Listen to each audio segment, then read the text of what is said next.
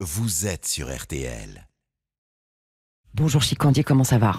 Bonjour ma petite Stéphanie, bonjour à tous. Je suis sûr qu'en bon vivant que vous êtes, vous adorez vous faire de temps en temps un bon restaurant avec vos amis. C'est vrai que je crache pas dessus, ma petite Terrine de la Pro.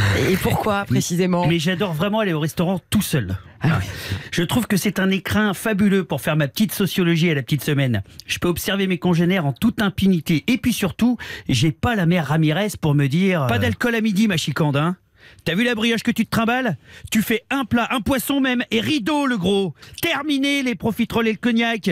Le docteur a dit que si tu revoyais tes pieds, ce serait quasiment un miracle. Du coup, quand le serveur arrive, euh, je peux m'adonner à un peu d'élégance, quoi. Alors écoute-moi bien, mon petit pote. On va commencer par deux picombières. Évidemment, 50 centilitres, j'ai l'air d'un scout d'Europe. Bon, en entrée, tu mets les œufs mimosa et la tourte au girolles. Après, on part sur la dope provençale, son gratin de macaroni, le Saint-Marcelin affiné de la mère Richard, et puis pour finir, la farandole des douceurs. Par-dessus, je veux un vionnier, un Saint-Joseph et un cornas. Bien sûr, en bouteille Tu m'as pris pour une gonzesse Et derrière, mitraillette de poire pour digérer. Il m'a compris? Et mène-toi le derche, le débilou, j'ai pas la journée? Oui, alors donc on est d'accord, hein, c'est bien de faire de la sociologie le but pour vous et non pas de rouler sous la table. Mais l'un n'empêche pas l'autre, ma petite raie au beurre noir. Le dîner solo, c'est le plaisir de regarder les autres tables, notamment le couple qui n'a plus rien à se dire. Ils se sont déjà tout dit dans l'Axantia. Ils attendent le menu pour se donner une contenance. Elle le regarde comme s'il venait de se torcher dans les rideaux. Elle commande une salade qu'elle touchera à peine. Et lui, il aura interdiction de commander du pinard condamné à se la morfler à jeun, la névrosée. Et ils vont manger en silence. Comme des moines dans une abbaye. On les imagine copuler d'ici, lui pensant à sa secrétaire et elle terminant sa grille de mots croisés. Et puis à la table inverse, celle des six commerciaux bedonnants. Chaussures à bout carré, gourmettes, portable au ceinturon, chemise violette, cravate violette.